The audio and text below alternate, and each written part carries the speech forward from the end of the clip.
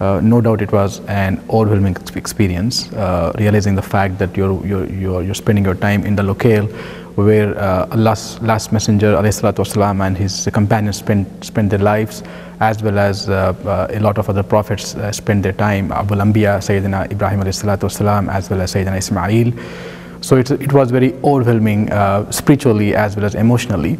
But one uh, takeaway that uh, that uh, uh that I experienced uh, from the uh, from the whole pilgrimage was that you see everyone focused on on on fulfilling their obligations, all the arkans of, of Hajj, and you see diversity, you see social harmony, you see racial harmony, you see econ economic harmony. Uh, nobody is uh, differentiated based on their status in the society. Nobody is differentiated based on their color, their race, their culture, their, their national origin. So, and then it dawned upon me, why can't we emulate the same thing in our daily lives?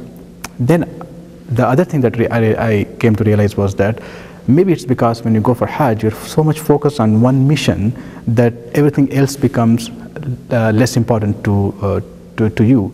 So that's the takeaway from the Hajj experience. So if we go back to our daily lives and if we emulate the same thing, focus on one mission, which is the which is seeking the pleasure of Allah subhanahu wa ta'ala as well as doing good for the society. And if you're focused on that one mission, then all other thing, all your e egoistic and uh, and any other uh, uh, less noble uh, intentions become immaterial.